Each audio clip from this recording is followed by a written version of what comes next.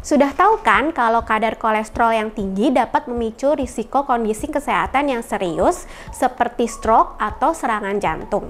Nah, kamu bisa mengonsumsi beberapa minuman alami untuk menurunkan kadar kolesterol. Contohnya, pertama, teh hijau karena mengandung katekin yang dapat membantu menurunkan kolesterol LDL. Kedua, susu kedelai kadar lemak jenuh pada susu kedelai cukup rendah sehingga aman dikonsumsi. Minuman ini juga dapat membantu untuk mengurangi atau mengelola kadar kolesterol. Ketiga, minuman oat.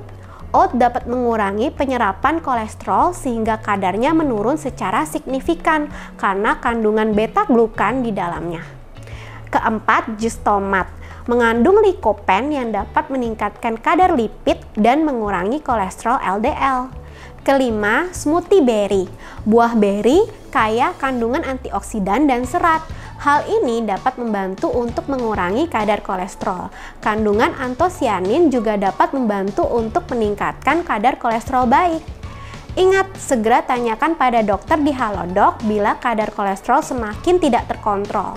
Jangan lupa juga untuk subscribe dan like akun kami untuk mendapatkan konten-konten kesehatan lainnya ya.